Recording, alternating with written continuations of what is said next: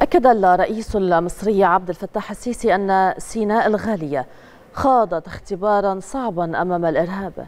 كما أضاف السيسي خلال كلمته التي ألقاها اليوم بمناسبة الذكرى الحادية والأربعين لتحرير سيناء أن الإرهابيين أغفلوا أن جيش مصر وشرطتها مقاتلون أشداء. تعود سيناء لتخوض اختبارا صعبا وغير مسبوق.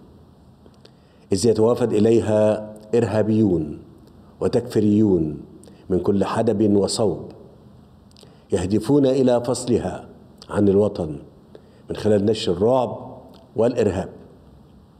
يظنون واهمين أن بمقدورهم إرهاب جيش مصر وشرطتها.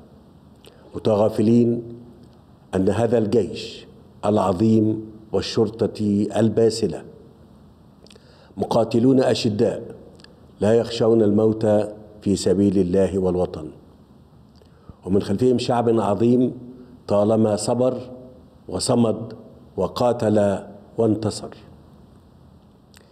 إن التضحيات والبطولات التي قدمها رجال القوات المسلحة والشرطة المدنية خلال الحرب على الإرهاب في السنوات العشر الماضية ستتحاكى عنها الأجيال لأزمنة طويلة قادمة بفخر وكبرياء.